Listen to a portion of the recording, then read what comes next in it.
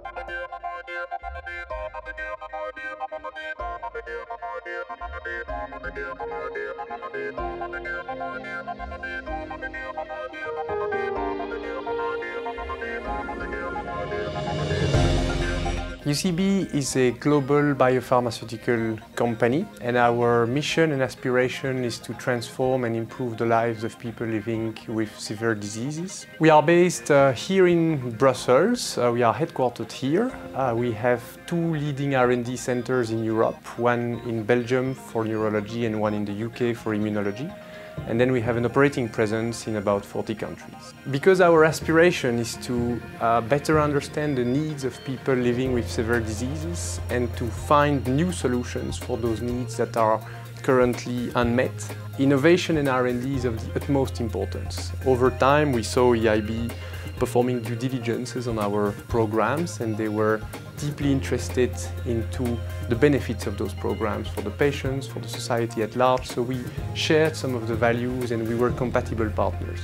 And when EIB came back to us and said, we really have a mandate to design the best funding scheme to push companies to innovate, we actually sat together and made this very innovative partnership where EIB directly funds some of our programs and gets its rewards attached to the outcomes of the programs. Uh, EIB told us about InnovFin, which was a larger mandate to have a high impact on accelerating R&D and innovation expenditures for companies. So the EIB is currently investing up to 75 millions into six programs at UCB.